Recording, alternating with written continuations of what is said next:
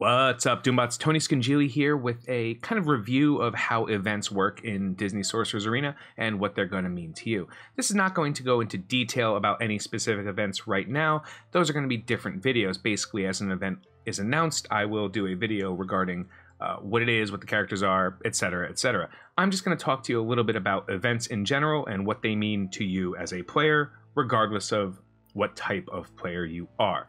So, what I can tell you from the amount of time I've been playing this game in the beta to now is that this game is 100% driven by events. There is no major change to how characters are added to the game or how characters are introduced outside of events.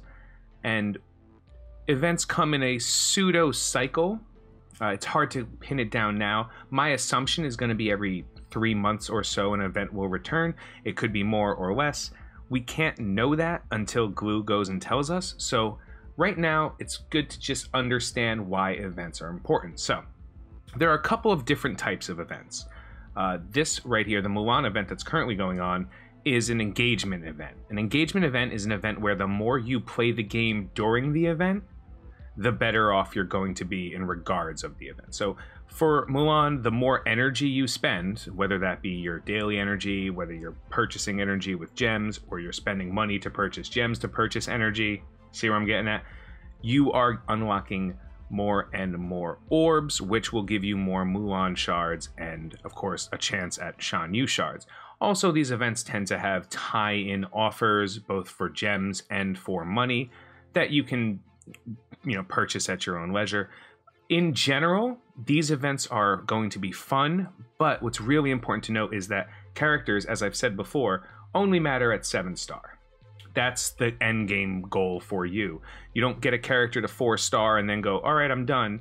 You might do that as you're leveling because you just don't have the time to invest. You have to switch between villains and heroes but you still need to be able to finish a character.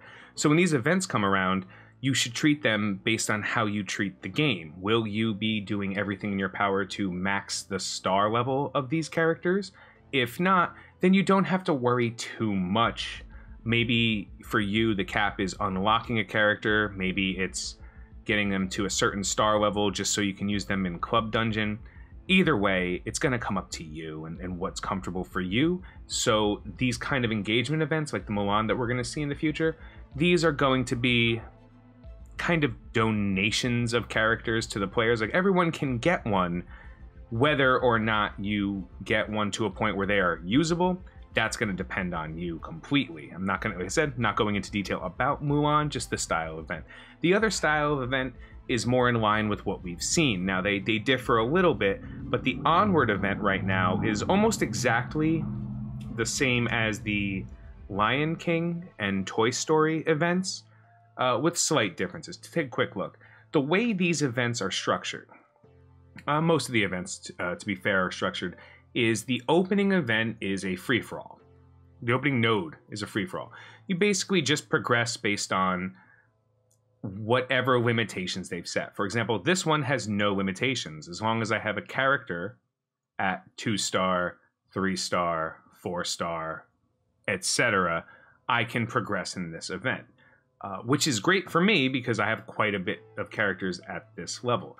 For the average player, especially a newer player, this event, it's unlikely that they're going to have many characters beyond three or four star or at least enough that they can truly accomplish uh, the tasks in this event. So this event right here uh, requires five characters at four plus star, and it gives you an amount of shards for Ian, or the the first character on this list. This is of course independent of how much money you've spent to unlock or buy more shards or whatever the case may be. The good thing is these events also give an arbitrary amount of materials that will help you level the character and you can not only repeat these uh, twice a day in general, you can claim a refresh or you can spend gems to refresh both attempts as often as you'd like. The refresh cost goes up every time.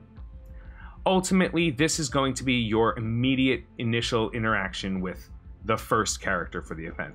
The second event, or the second node in the event, tends to require the first character uh, before you can start doing anything and unlocks the second character. Surprise, right? So in this one, you need a one, two, or three star Ian in order to start farming each individual node. And obviously, I think goes without saying, the further up you go, the more access you're going to have to character shards, uh, the easier it's going to be to unlock and further progress the characters. That said, um, if you're not spending money, you are going to have to play this like a little bit of a ladder where you climb one rung at a time, one hand, one foot, you know how it works, and it'll be okay. This uh, event is very similar to a lot of the other events where the first one is a free for all, the second one requires the guy from the first one, and then, of course, the final one or the special character is unlocked with both of them. So you complete the first one, you unlock your Ian. You complete the second one, you unlock Barley. Congratulations, you can start working on this event. Now, there is a limited amount of supplies you can accrue from these events. So I've already completed all of the onward coins I could get from this. And that's kind of unfortunate because if I can't progress much further, if I can't go into the three, and as you can see, I can't go into the four right now, I'm not going to have a great time continuing my progress towards Manticore, who is the special unlock for this event. Okay, uh, depending on the character, that might be unfortunate, that might incentivize me to give them some money, or what it's going to end up doing is nothing. I don't believe these characters are particularly useful to me. I'm not impressed by them, so I'm not going out of my way and spending more money to invest in them. I will just wait for the next pass. And that's something that a lot of free to play players are also going to have to come to grips with that not everything is going to be accessible immediately to them. They're going to have to wait for multiple passes not only to necessarily unlock a character, but definitely to invest in and rank up characters. Uh, and as I had said earlier, because this event requires characters at five star, it's relatively easy. Some events, like the Aladdin event, not only require characters at a specific star level, but they definitely require hero characters. So now, if you happen to have been investing only in villains the entire time, you see that, uh oh, I need to have a couple of regular hero characters in order to progress further in this event in addition to any of the limitations that these events place on their own, like Ian and Barley. For that reason, I think that the most important thing most players need to know going into events and how events work, obviously, aside from what the event requirements are, which I'm working on infographics to kind of discuss how unlocks work and basically the minimum amount of investment you can spend in order to make some progress in characters or character events you you need to be able to enter an event not only with the required characters but with the limited time characters that are event exclusive.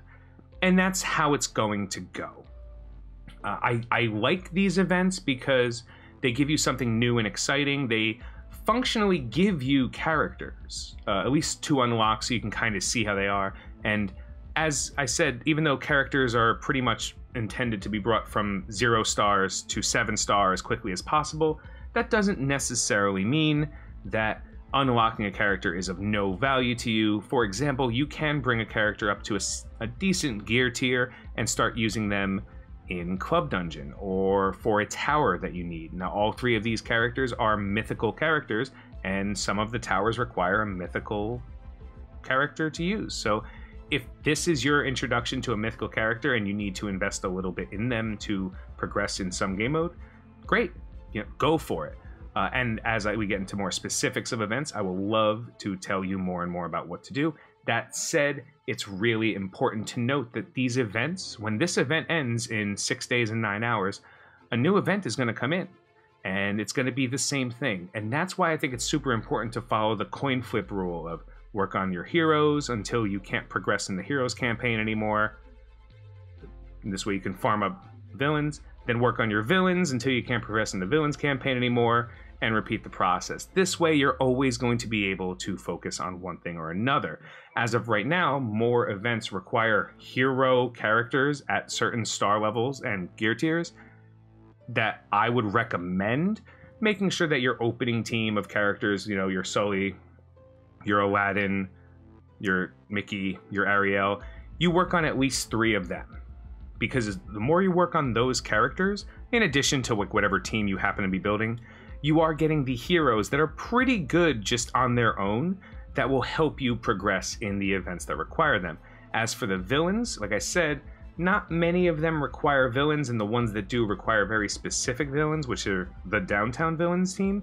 And I think I've been recommending the Downtown Villains team as the starting villains team for everybody. So if you're working on them, you'll be set up for at least the one event that requires Downtown Villains, and then any event that happens to require villains at high star.